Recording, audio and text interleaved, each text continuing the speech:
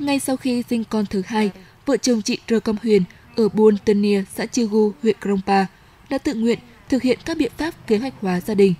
Để đi đến quyết định này, vợ chồng chị đã được chị Rơ Com Hưng Nghiêm, cộng tác viên dân số của buôn, thường xuyên tuyên truyền về tác hại của việc sinh đông con sẽ làm ảnh hưởng đến chất lượng cuộc sống sau này. Không chỉ chị Rơ Com Hờ Huyền, nhiều cặp vợ chồng trẻ trong buôn Tân Nia cũng được chị tuyên truyền, vận động không sinh nhiều con để nuôi dạy con cho tốt.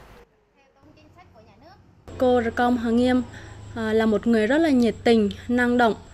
À, cô à, rất là sôi nổi trong thực hiện công tác của mình. Mỗi lần mà có kế hoạch gì về bên y tế, bên chăm sóc dân số, cô đến tận nhà tôi để mà tuyên truyền, đặc biệt là về kế hoạch hóa gia đình,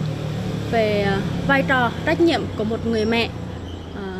người vợ trong việc thực hiện chăm sóc gia đình con cái. Đến nay là nói chung là trong thôn buôn là sinh con thứ ba là rất ít và bất cứ những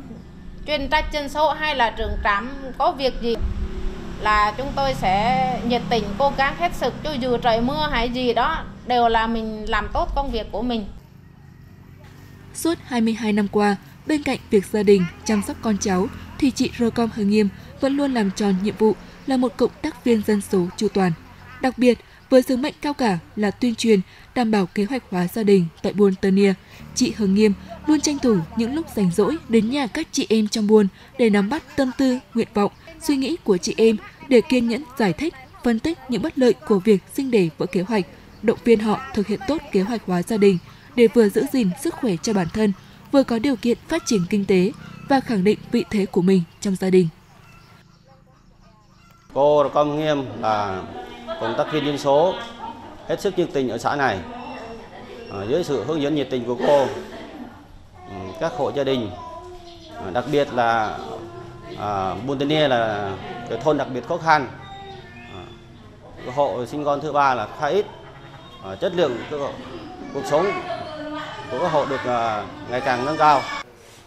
Để tạo động lực cho những cộng tác viên dân số như chị Hờ Nghiêm nỗ lực hoàn thành tốt hơn nữa nhiệm vụ của mình. Vào cuối năm 2022, kỳ họp thứ 9 Hội đồng Nhân dân tỉnh Gia Lai khóa 12, nhiệm kỳ 2021-2026 đã thông qua nghị quyết quy định mức chi bồi dưỡng hàng tháng cho cộng tác viên dân số trên địa bàn tỉnh Gia Lai.